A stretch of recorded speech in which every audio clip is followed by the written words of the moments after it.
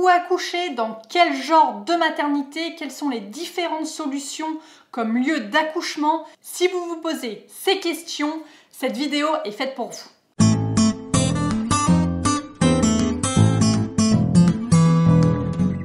Bonjour à tous et bienvenue pour cette nouvelle vidéo sur la chaîne Sage-Femme, mais pas que. Aujourd'hui, on va voir ensemble justement quelles sont les différentes sortes de maternité et quelles sont les différentes solutions d'accouchement. Les différentes solutions d'accouchement, c'est-à-dire quels sont les différents lieux autres que clinique et hôpital. C'est parti, on commence. Alors tout d'abord, quels sont les différents lieux autres que clinique et hôpital? Vous en avez trois différents. Le premier, c'est l'accouchement à domicile. En France, cela existe, mais c'est assez peu fréquent parce que l'assurance pour une sage-femme pour accoucher à domicile est extrêmement chère. Et donc c'est vrai que peu de sages-femmes proposent cette option-là. Mais en tout cas, elle existe, donc si c'est votre souhait, posez la question. Deuxièmement, il existe également les maisons de naissance. C'est quoi des maisons de naissance? C'est des maisons individuelles souvent, mais proches, voire carrément collées à un hôpital où justement c'est un espace complètement cocooning où on peut euh, accoucher dans ces maisons de naissance, mais par contre il n'y a pas de médecin, obstétricien, anesthésiste ou pédiatre. Il n'y a que des sages-femmes et vous. Cela suffit généralement amplement, mais s'il y a quelque chose, il faut être transféré en clinique ou à l'hôpital. Et troisièmement, c'est en plateau technique. Donc là, en plateau technique, en général, c'est sur le même palier que la salle de naissance de l'hôpital. C'est en face par exemple, il y a juste une porte ou un couloir qui sépare les deux, ce qui permet justement d'avoir vraiment l'espace cocooning et si jamais il y a quoi que ce soit, hop, on transfère la patiente très rapidement et il y a une prise en charge médicale qui peut être très rapide. C'est quoi les intérêts de ces trois options par rapport à la clinique et par rapport à l'hôpital? C'est un, il y a du suivi global, c'est-à-dire que la sage-femme vous connaît quasiment par cœur.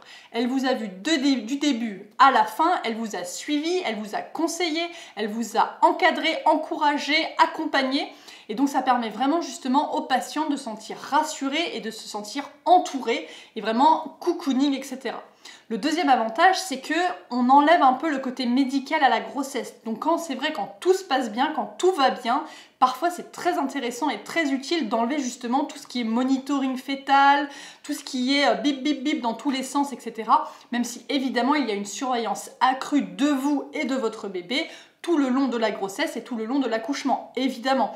Mais voilà, sachez que c'est quand même un petit peu moins poussé parce qu'en théorie, votre bébé va très bien. Donc le troisième intérêt, c'est vraiment que vous vous sentiez à l'aise, en confiance, dans un environnement que vous connaissez, etc.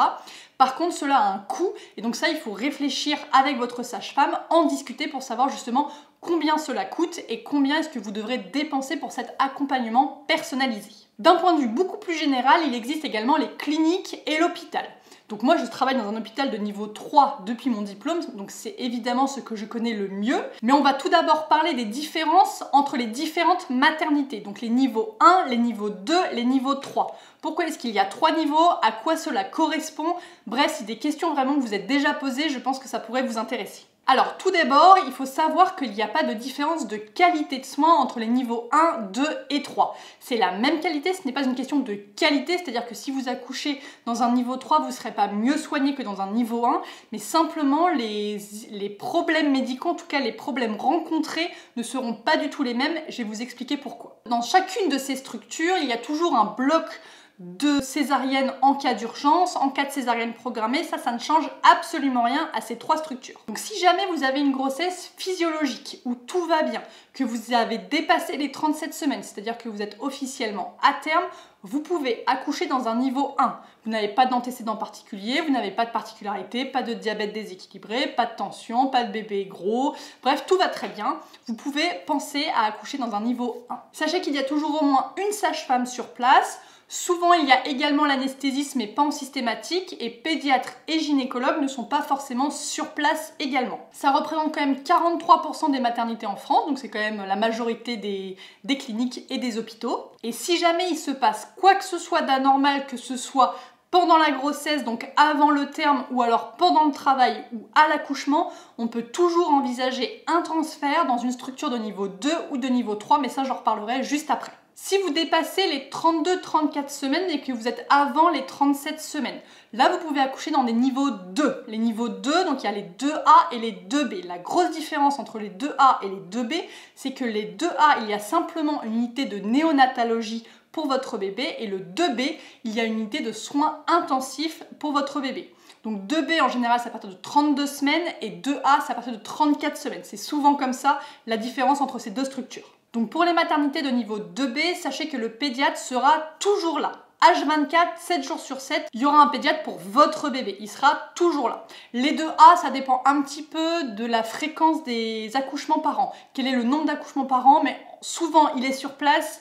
Mais voilà, ça c'est un peu à voir au cas par cas. Ces maternités-là, ça représente quand même 45% du nombre de maternités en France. Et enfin, troisièmement, le niveau 3, donc si c'est avant 32-34 semaines, donc à partir de 24 semaines, là c'est les niveaux 3, ça représente à peu près 12% des maternités en France.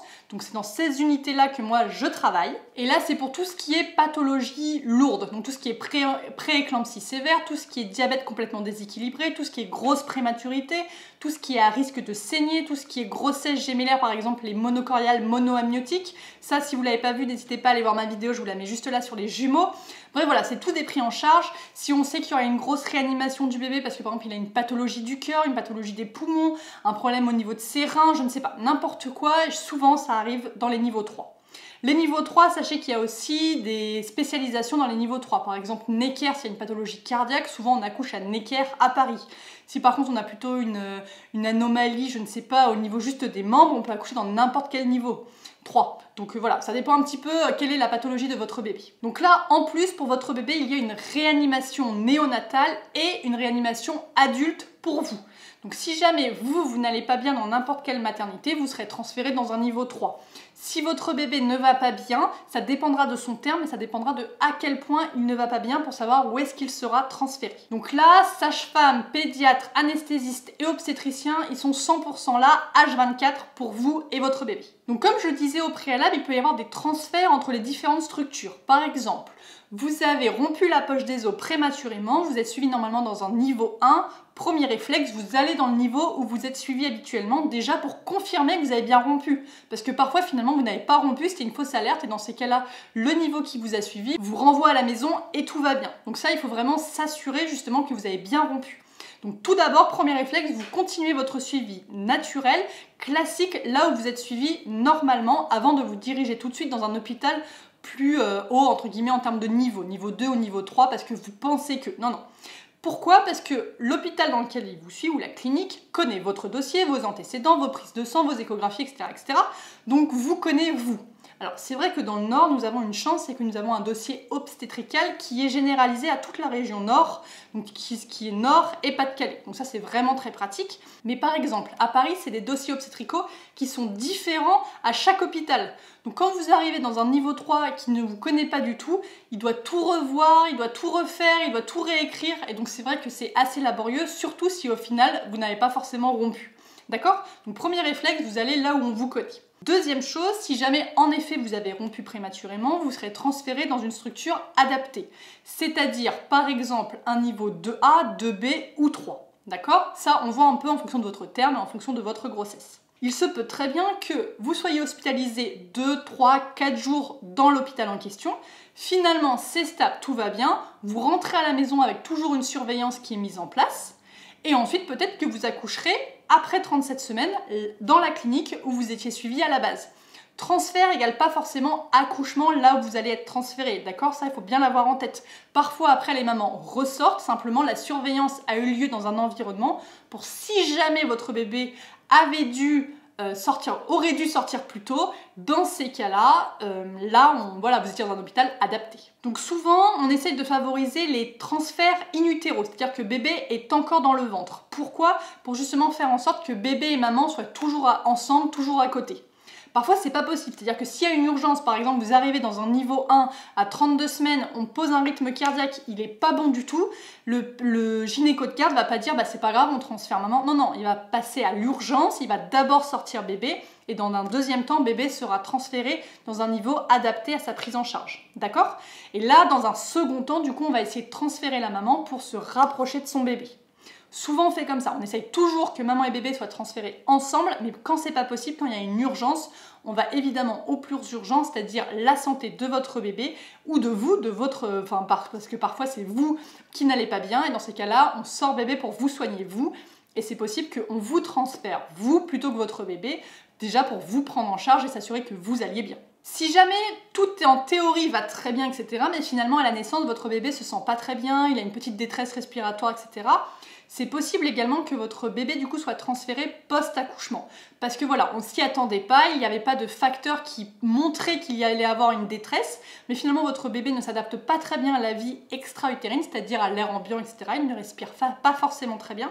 Dans ces cas-là, on peut le transférer lui tout seul et après vous, vous l'accompagnez soit directement, soit par la suite avec le rapprochement mère-enfant dont je viens de vous parler. Alors ce qu'il faut savoir aussi, c'est que CHU ou CHI pour intercommunal ou autre CH, centre hospitalier universitaire, CHU, ne, ne veut pas forcément dire niveau 3, d'accord? Il y a des CH qui veulent parfois, qui sont pas forcément de niveau 3, etc. Donc ça, il faut se renseigner un petit peu si c'est un niveau 1, 2 ou 3, selon l'hôpital en lui-même, c'est du cas par cas.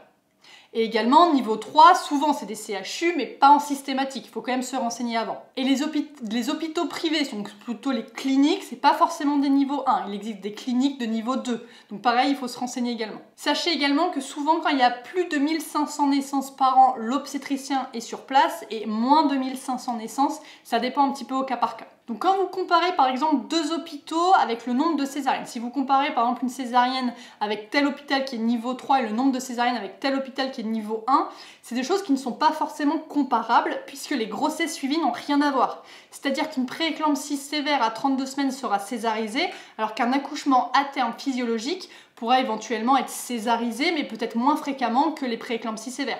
Donc voilà, donc il faut faire attention quand vous comparez en fait le taux de césarienne selon les hôpitaux, parce qu'il faut vraiment voir le pourquoi ils ont été césarisés, quelles étaient les raisons médicales derrière. Voilà, j'espère que la vidéo vous a plu, que ça vous a intéressé. N'hésitez pas à me le dire en commentaire, à me laisser un petit pouce ou à vous abonner, ça encourage, ça fait vraiment plaisir. On est un peu plus de 16 000 sur la chaîne, donc ça fait vraiment plaisir, je suis très très contente. En tout cas, moi je vous dis à très bientôt pour une prochaine vidéo. Au revoir